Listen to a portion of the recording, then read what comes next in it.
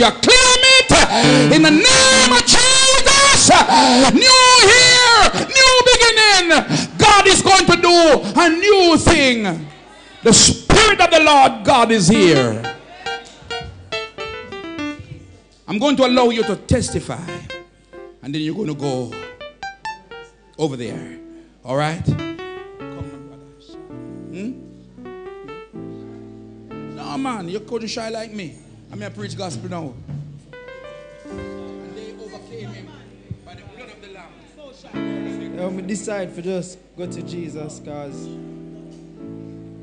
just love him. Love the Lord.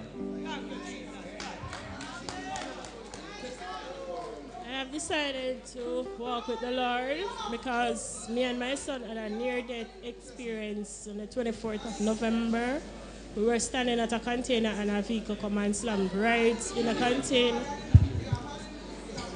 The vehicle came and slammed right in the container where we were standing, and I'm happy that we're alive, and I'm giving God thanks, and, I'm, and I decided to walk with Christ. Bless the Lord. Bless the Lord. Praise the Lord. I've been here now one year and about four months.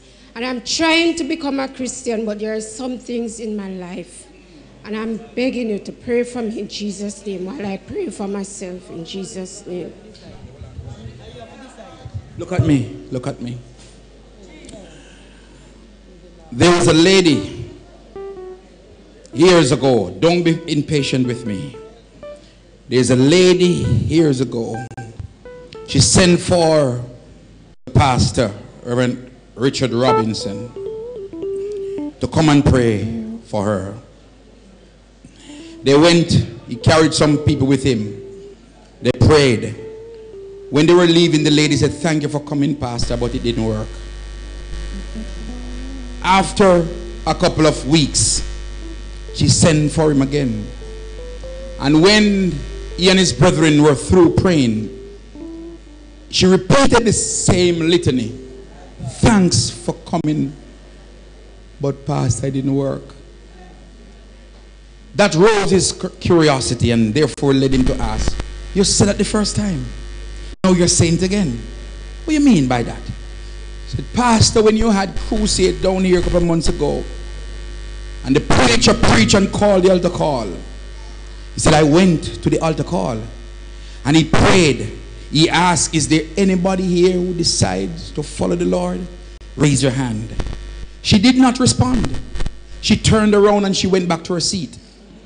On her way going down in the aisles, she heard a door slam. She turned around. She didn't see any, but in her mind, in her, in her man, she knew it was heaven's door shut on her. From then, she's trying to feel the Spirit of God. Because if the Spirit not convict you, hello, if the Spirit does not convert you, you're done, you know. So it's not that I am trying to feel the Spirit of God and what of you. You have to make up your mind. It is not feeling. The Bible said if you believe in your heart that God raised him from the dead and confess him, hello, glory to God, you shall be saved. So let us know today what you decide to do. Are you going to serve God? No, ma'am, no, ma'am. Shake your hand. I have decided. Yes, ma'am. Yes. I need somebody to come, come, come, come, sister, come quick now, man. Hold her from round. Hello, go behind her. Go behind her. Hold her on her tummy. Shout deliverance seven times for her. Shout deliverance, man. Shout deliverance. Shout deliverance. Shout deliverance again. Shout deliverance again. Come on, church. Shout deliverance again. Shout deliverance again.